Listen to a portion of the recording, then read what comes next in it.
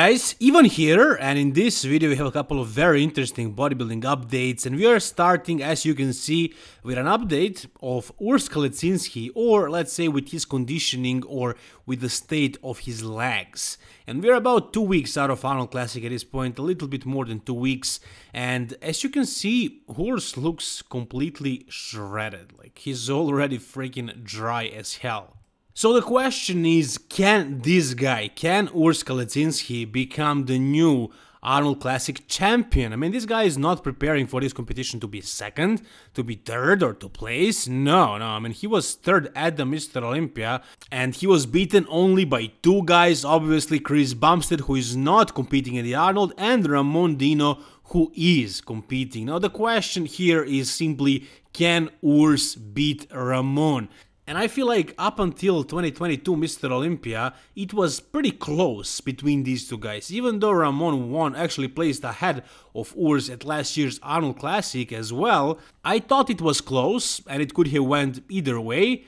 But Mr. Olympia, I think the judges pretty much sent us a message. And that message was the only guy that comes close to Chris Bumstead, close enough to actually get in a call out with him is this guy, Ramon Dino. Because everybody else was left aside and we had two men first call out. It was Ramon Dino and Chris Bumstead.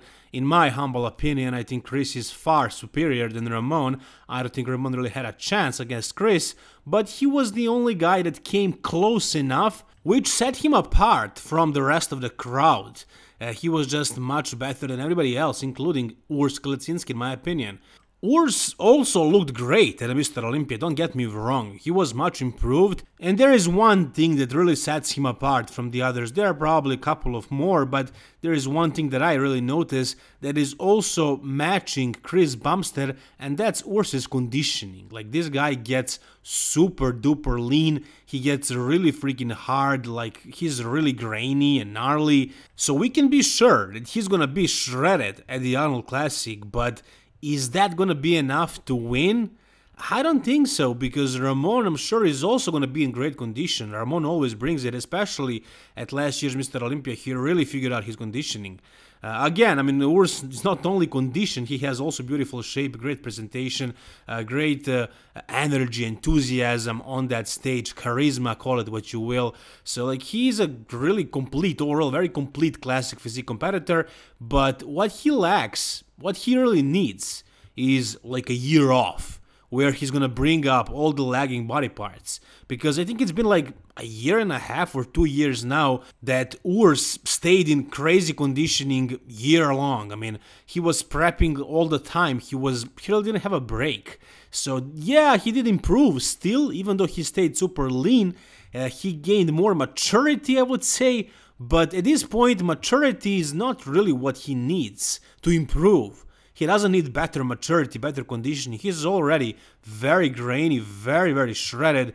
What he needs is more muscle everywhere, really. Like in arms, especially in arms, also his chest, also his back, shoulders for sure. The only body part that I would say is big enough would be his calves, and you could make an argument for his quads and his glutes. Let's say his overall legs are pretty good, but as far as the upper body, he needs more muscle, man. He needs a lot more muscle. And after seeing this new video that he posted, he looks grainy, like he looks shredded. He looks so dry, it's crazy. But again, even though it's super impressive, I don't think that conditioning is gonna bring him a victory. Because I know Ramon Dino is also gonna be shredded, but he's gonna have more muscle, better shape, a more filled out frame. So conditioning alone is not gonna win Urs an Arnold Classic. What he needs is an off season where he can grow and progress. And if he does that, if he brings up his weak body parts, let's say his entire upper body, then we can talk about him beating Ramon. I don't think it matters what he does. I don't think he can ever challenge Chris Bumstead. I don't think anybody can. Today, I haven't really seen anybody with that much potential.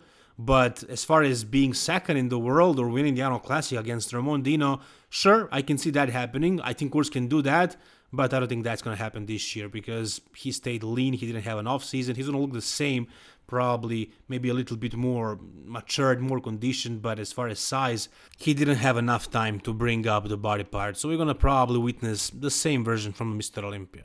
And I know saying that is not super exciting, but it's the truth, really. And I think that's to be the case with the majority of these guys, and including Samson Dauda. So now you're looking at his most recent physique update. I think Milos Sarcev, his coach, posted this and he said, uh, define bodybuilding tag Samson Dauda. He says taken five minutes ago, but these emojis kind of look suspicious to me. So this could be like five weeks before, because I mean Samson never really got out of shape from the Mr. Olympia. He maintained the same conditioning.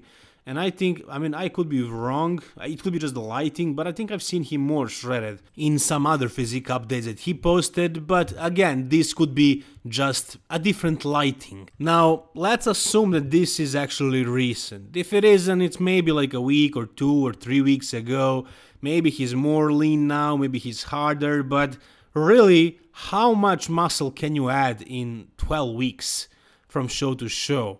I mean, maintaining conditioning like that, I don't know. I mean, yeah, I'm sure he's training super hard and he's still eating a lot of high quality food and maybe he upped the doses of some things and all that stuff cannot be in vain just to maintain his physique. So he's probably gonna be at least a little bit improved. I, I can see that. I mean that is kind of the thing that samson needs now, before I talked about Urs, and Urs doesn't need to improve maturity and conditioning. Like he's already super shredded, he needs more mass.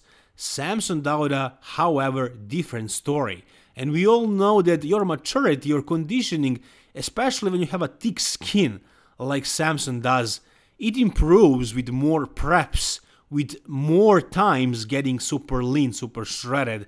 So I think in Samson's scenario, he is not gonna be a ton bigger than the Mr. Olympia. Let's be honest, guys. Like, it's not gonna happen. He's not gonna grow his lats in 12 weeks or whatever his weaknesses are, like maybe shoulders, maybe I don't know, tricep sweep in the front double, stuff like that. I mean, he's not gonna grow all that, but he might come in more matured, more conditioned, with better detail, with better dryness, with more graininess. And in Samson's case, that can mean a lot.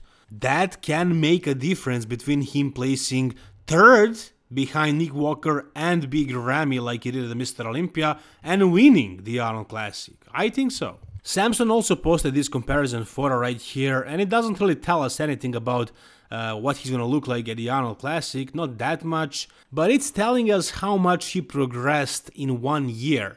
Now the four on the left, as you can see, is 3 weeks out of 2022 Arnold Classic, and the other one is right now 3 weeks out of Arnold Classic, so it's a huge difference. But as far as the Arnold Classic, we already saw that he was a ton better at the Mr. Olympia than that Arnold Classic, and if he uh, looks just the same, it's gonna be a huge difference from his 2022 Arnold Classic version. What we wanna see is him improving on his Mr. Olympia edition. Is that gonna be a possibility?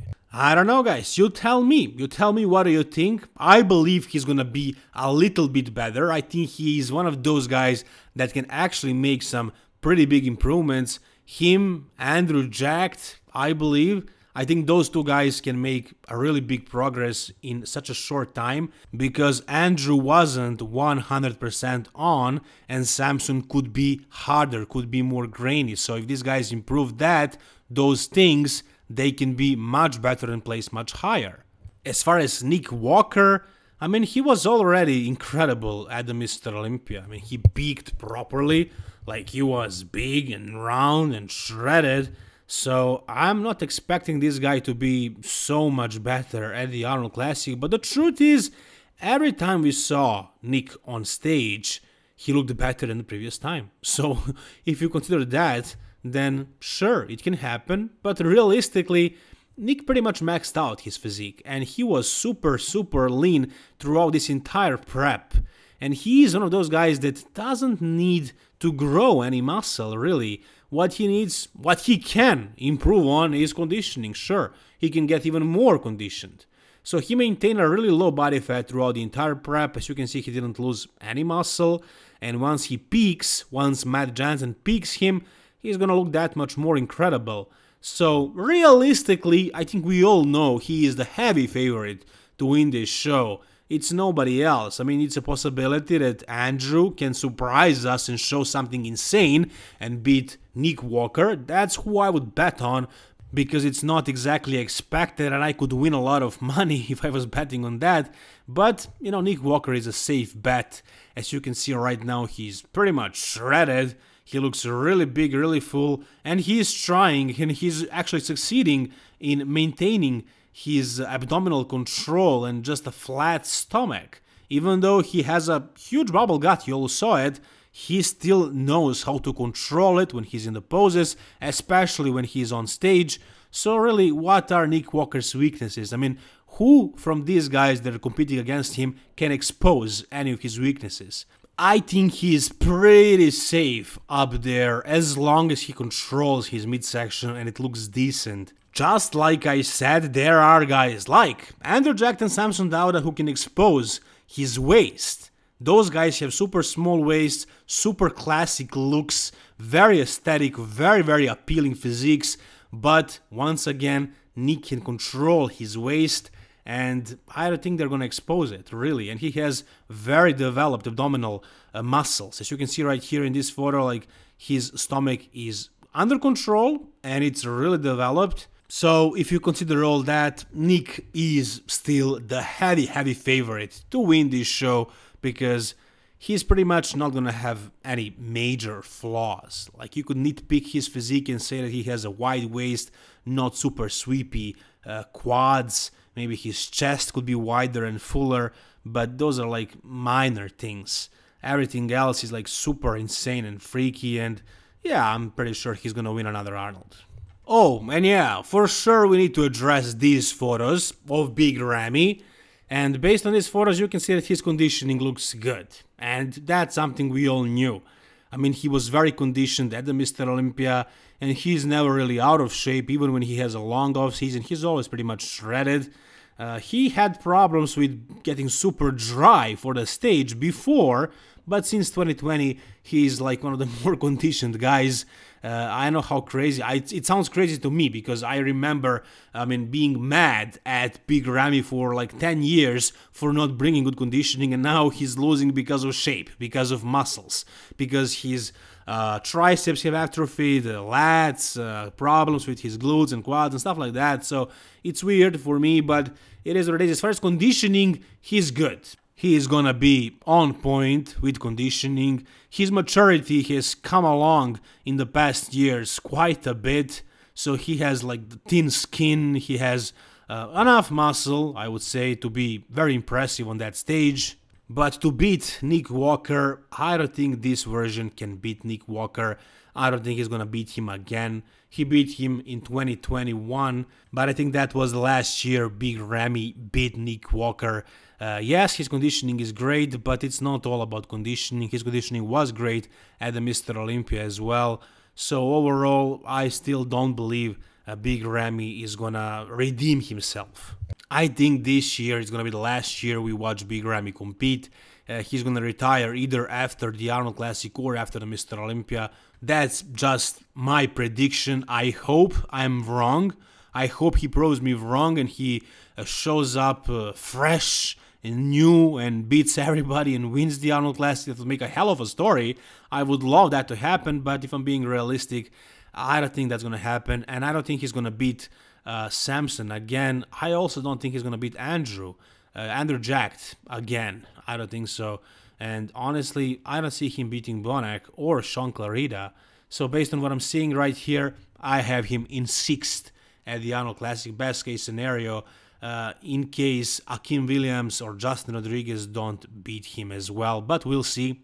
Anyways, guys, that's gonna do it for this video. If you enjoyed this video, guys, please give it a thumbs up for more stuff like this about bodybuilding. Subscribe to my channel. Thanks again, all the best, guys, and bye-bye.